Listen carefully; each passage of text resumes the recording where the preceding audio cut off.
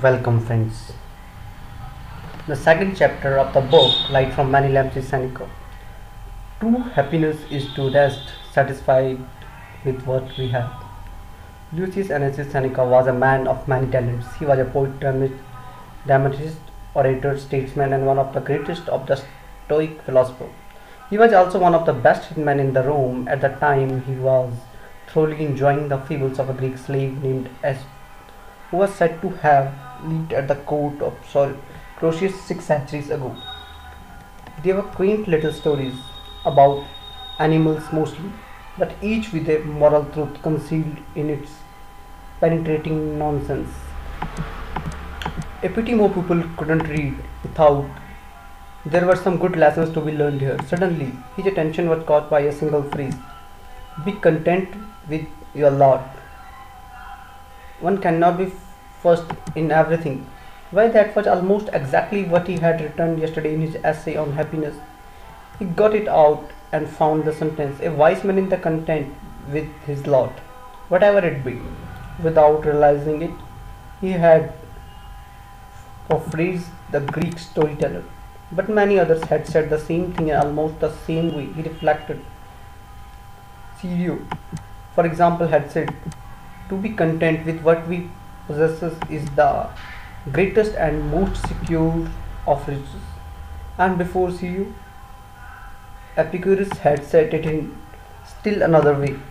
If thou wilt make a man happy, add not unto his riches, but take away from his desires. He read over what he had written the day before and found it good. It was what he wanted to say. True happiness is to understand our duties towards God and man to enjoy the present without an anxious dependence upon the future. Not to amuse ourselves with either hopes or fears, but to rest satisfied with what we have, which is evidently sufficient for he that is so wants nothing. The great blessing of mankind are within us and within our reach but we shut our eyes and like people in the dark fall fall of the very thing we search for without finding it. Tranquility is a certain equality of mind which no condition of fortune can either exalt or depress.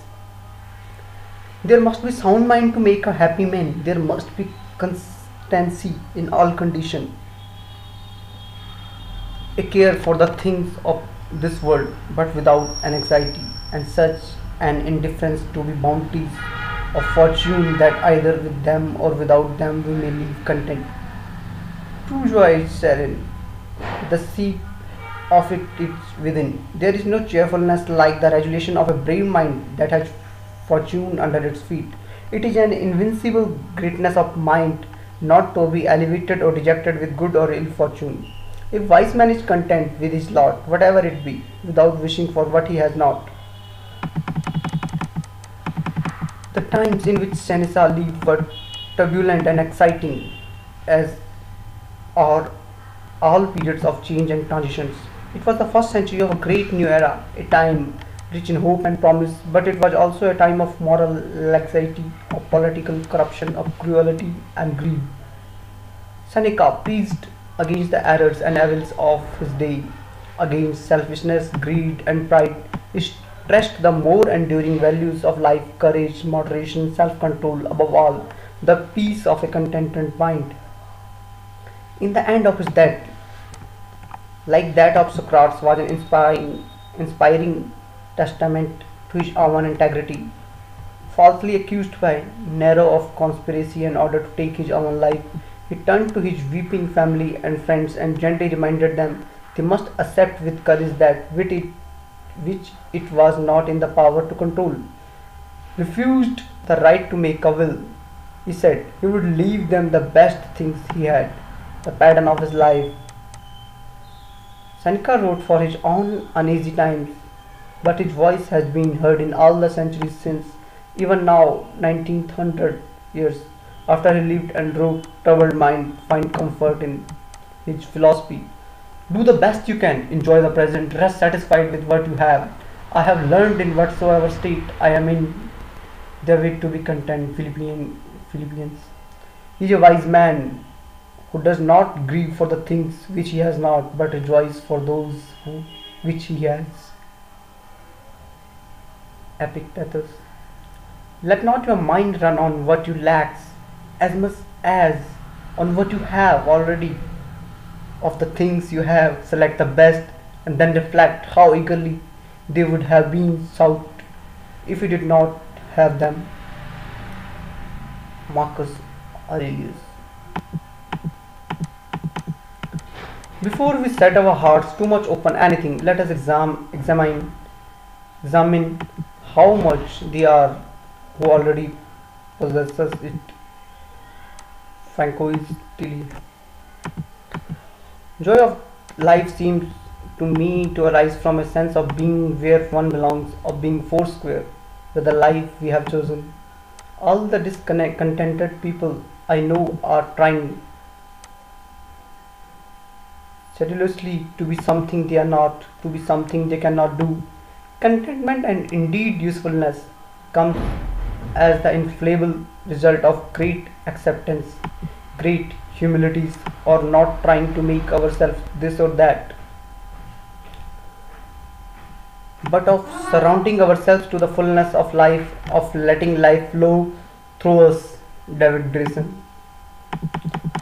The secret of contentment is the discovery by every man of his own powers and limitation, finding satisfaction in a line of activity which he can do well, plus the wisdom to know what his place, no matter how important or successful he is never count very much in the universe. A man may very well be so successful in carving a name for himself in his field that he begins to imagine himself indispensable or omnipotent.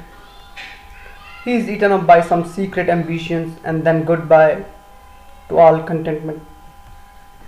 Sometimes it is more important to discover what one cannot do than what one can do. So much restlessness is due to a fact that a man does not know what he wants or he wants too many things or perhaps he wants to be somebody else to be somebody accept himself the courage of being one's genuine self of standing alone and of not wanting to be somebody else in your time